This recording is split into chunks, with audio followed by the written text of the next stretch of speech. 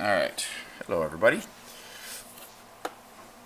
I'm going to show you how a problem I had in K3B uh, burning software and how to fix it.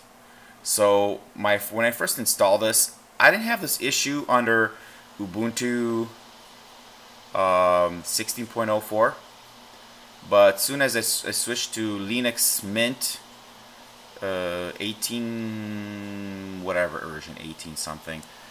As soon as I would pop this up I'd have an error here saying that oh it can't see mp3s or something. You can't you can't burn mp3s and blah blah blah because you don't have the li some library installed. I'm like okay.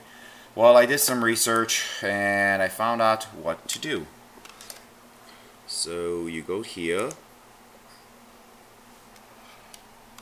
Nah, it takes a while. Sorry. And should pop up anytime now. Alright. And right here you type K3B. And okay, so here these two have to be installed. LK3B so LIBK3B7 just click on it and push install. Same thing with this. LIBK3B7 extra codecs. Click on that and put install. So mine's already installed.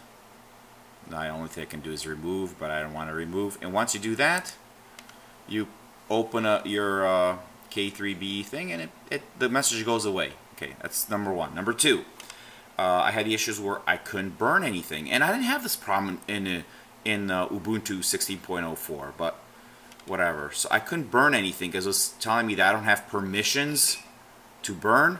I'm like, what the heck? So I did some research and uh, well, here we go. You have to go to configure, K3B, go to programs, and uh, go to permissions. And right here, these numbers were not the same. 4711, 4711, 0755 these numbers were different. I had to change those. And I didn't find this on my own. I actually found out somebody else that showed me how to do it. The only thing I didn't like about what they did is they just, you know, people who are not familiar with the terminal, they would know how to change those numbers because you just can't double click on it and change the numbers. You have to do it through the terminal. So the way you do that is, okay, you bring up a terminal, okay, and I actually I'm going to put these commands, let me see, where is it? Oh, it's this one. I'm going to put these commands.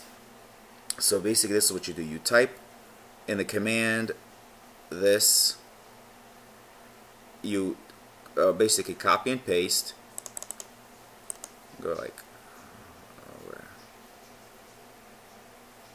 copy, and then you open your terminal, you paste and you push you paste there and you push enter. Now I'm not going to do that because I've already I already have them installed so. And then you do the same thing with every single one. And then once you do that you open up your uh, Brasario and make sure that those numbers have been changed right here. It's that simple. Um, and once those numbers have been changed it works. It works fine after that. The, but that was the whole problem. So I'm actually going to put those, uh, let me close this. Nah. I'm going to put this in the description so you can just copy and paste. Um, be easier for you than typing it out. But yeah, that was it. And then there was a, a then after that it just let me do everything like it, it did when I when I was using it in Ubuntu 16.04. So, all right, that's it. Hopefully, hopefully this was helpful. Over and out.